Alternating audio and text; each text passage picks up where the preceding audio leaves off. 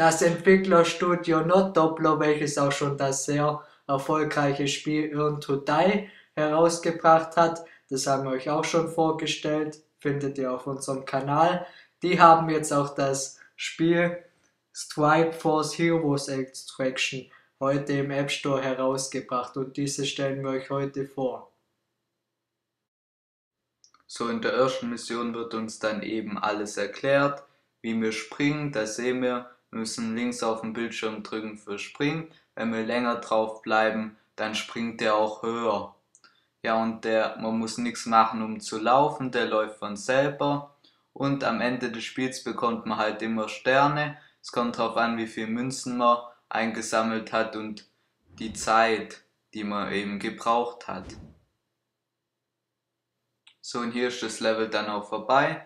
Hier sieht man eben, man kriegt einen Stern für sein Zielkommen, eins für Münzen und eins für Zeit. Der Kampagnenmodus beinhaltet viele Missionen, da muss man zweimal das gleiche machen.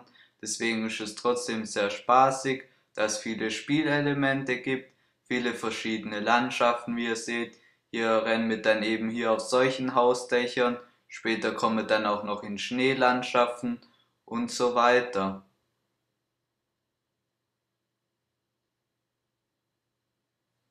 Sieht man dann nochmal die ganzen Missionen, die es gibt.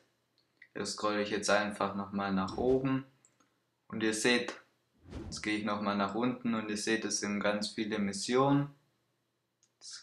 Und zwar sind es eben 30 und dann zeige ich euch jetzt auch noch den Shop. Da gibt es eben Charaktere verschiedene, die haben dann eben verschiedene Fähigkeiten und die können wir dann eben mit den Münzen sammeln, die wir im Spiel gesammelt haben oder per In-App-Käufe gekauft haben. Dann noch die Waffen, da gibt es auch sehr viele verschiedene. Da gehen wir jetzt auch mal durch. Hier haben wir eine Pistole, hier haben wir zum Beispiel eine Shotgun, hier haben wir einen Sniper, dann Raketenwerfer und hier die sind eben noch alle noch nicht freigeschaltet. Ich scroll hier nicht ganz nach unten, da gibt es noch ein paar mehr. Dann haben wir hier noch Upgrades, dass wir zum Beispiel mehr Leben haben, das habe ich jetzt mal gekauft. Dann das, oder dass man eben schneller nachladen kann und so weiter. Neben dem Kampagnenmodus haben wir eben noch zwei andere Spielmodi. Da wäre zum einen der Survival Mode, den zeige ich euch jetzt. Wir haben hier eben drei verschiedene Karten und eine vierte wird dann auch noch mit einem Update hinzugefügt. So und dann kommen wir jetzt auch gleich ins Spiel rein. Hier sind wir auch schon drin. So die Steuerung ist gleich wie beim Kampagnenmodus. Hier geht es eben darum, eben so lang wie möglich zu überleben, so weit wie möglich zu laufen. Deswegen sind hier auch Gegner. Also ist es so wie beim Kampagnenmodus, nur dass wir eben versuchen müssen, so lang wie möglich zu überleben. So, hier schießen wir dann jetzt auch noch auf ein paar und dann können wir jetzt eben wieder weiterlaufen. Hier schießen wir wieder und hier laufen wir dann eben weiter. So, dann haben wir noch den Free Run Modus, den zeige ich euch jetzt auch gleich. So, hier ist im Hauptmenü, dann klicken wir einfach auf Free Run. Hier haben wir dann auch eben verschiedene Maps. Da müssen wir dann eben auch eine gewisse Anzahl an Sternen haben, um die freizuschalten. Hier haben wir eben keine Waffe. Das Einzige, was wir machen müssen, ist eben so weit wie möglich zu kommen, nur dass wir halt nur hüpfen müssen. Wie ihr seht, es gibt keine Gegner. Und deswegen ist es dann auch ein bisschen leichter.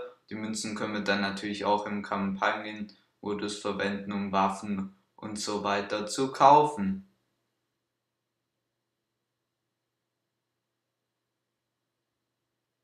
Mein Fazit zum Spiel.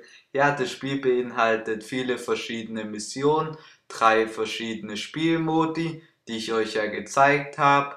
Dann haben wir noch 20 spielbare Charaktere, 33 Waffen und eben das Spiel kostet gerade einmal 1,79 ist leider keine Universal-App, das ist allerdings nicht so schlimm und das Spiel enthält auch noch ein paar In-App-Käufe, die man aber nicht unbedingt braucht, um das Spiel durchzuspielen. Dann bis zum nächsten Video. Tschüss.